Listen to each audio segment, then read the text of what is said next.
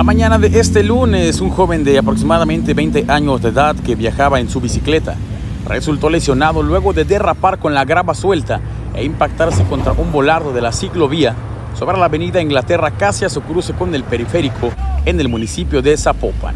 Hasta el punto, arribaron los servicios médicos municipales para atender al hombre que resultó con una lesión en el cráneo y una de sus rodillas. Eh, se cayó de su bicicleta. Está en condición regular. Trae lesión en rodillas, codos y en cara.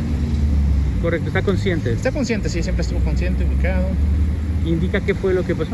Pues dice que al parecer no vio un tope o no sé, dice que se cayó. Simplemente. Muy bien, muchas El joven refirió que se dirigía a su primer día de trabajo cuando sucedió el accidente. Fue trasladado por los servicios médicos municipales hasta la clínica 45 del IMSS para ser valorado.